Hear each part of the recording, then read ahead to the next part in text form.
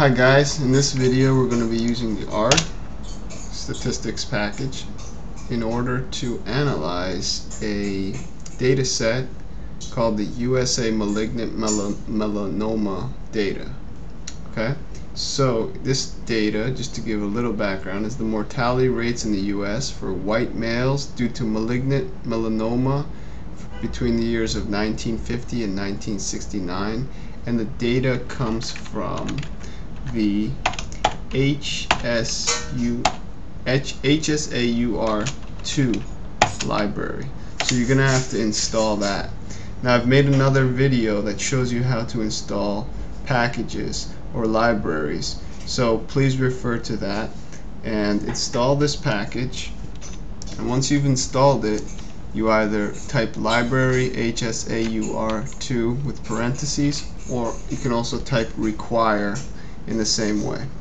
So basically this loads the package and the data set that we're interested in this package is US melanoma. So the way you could do this is you could type in quotes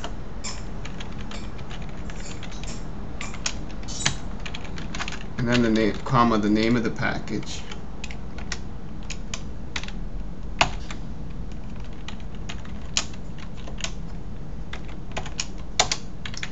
and this loads the data. And so we can take a brief look at the data by using the head command. And we see that the data has four variables namely the mortality latitude longitude and whether the uh, uh, state is contiguous to an ocean. Okay? And it goes by states in alphabetical order so naturally we would imagine that there would be 50 uh, observations or states in this data set. The way we could check that is another cool function called str which not only tells us that but it also gives us the type of data each variable is. So here we have 49 observations of four variables and it tells us that mortality is an integer variable. Latitude is a number. Longitude is a number. And ocean is a factor with two levels yes and no. And they're coded as 2 and 1 no being 2 yes being 1 okay? So actually maybe no being yes and and sorry. No being 2 and no being 1 and yes being 2 excuse me. Okay so let's get to the uh, actual analysis. We're going to do a little bit of visualization so we can actually observe uh, this stuff in charts and graphs which is uh, always a useful thing to do when you're starting out with a brand new data set. So in order to do this first I'm going to get the range of melanoma mortality. We're really interested in the mortality. So let's the range is from 86 to 20 to 29.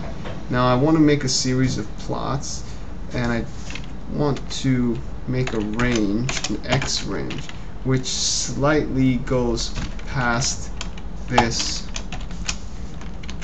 range of 86 to 229. So I will define a new variable xr, x range, as the range of mortality times 0.9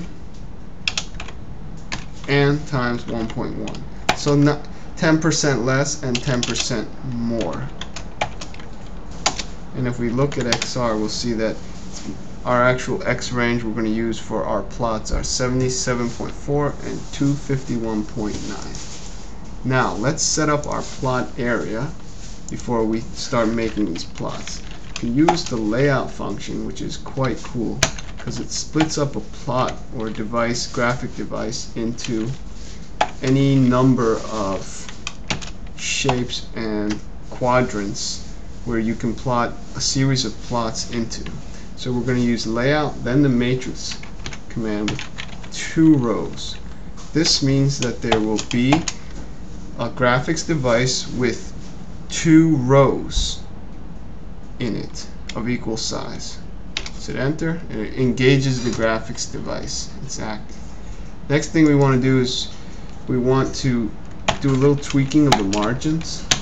So using this rather confusing command, we can alter the margins and I'll explain exactly what's going on here. This is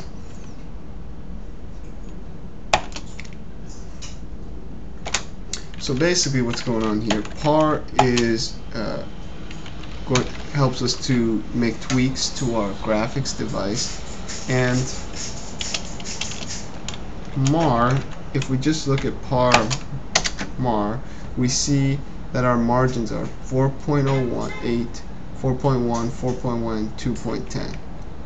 Okay, so this is the number of lines in the bottom lines of text that would fit in the bottom, left, top, and right margin.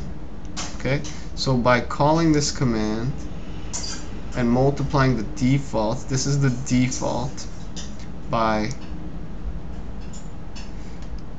this vector of 0.81111, I leave these three at their defaults and I multiplied the bottom margin by 0.8 so I made it I made the bottom margin for these plots that are gonna come out 80% uh, of what they usually what what they are by default. Okay? So that everything can kind of fit in nicely next now we're gonna get to actual interesting stuff. We're gonna do a box plot. We're gonna do a box plot of again the mortality so. And for our Y lim, we're going to use the XR range that we computed up here, we defined up here. And we're going to also call this uh, this uh, option of a horizontal plot, which just flips the box plot on its side. So it makes uh, it a little bit more uh, uh, aesthetically pleasing for our layout. Okay, so you see the box plot instead of being vertical like this has been flipped over horizontally. Okay, and that's that's what horizontal true does. What uh, X label does, X label mortality does this and this is just the data and the Y lim. This is our Y axis and that sounds funny but because this horizontal is true the X axis and the Y axis kind of flip too okay? So that's our first plot our second plot is going to be a histogram of the same data namely the mortality. This time the X lim is going to be XR. Our X label is going to be blank. And our title, we've got to make sure we tell it to give us a blank title or else it'll just print a default name. We don't want any axes. And finally, our Y label, we also want blank. And here we get a histogram, right? And we're kind of missing an axis here.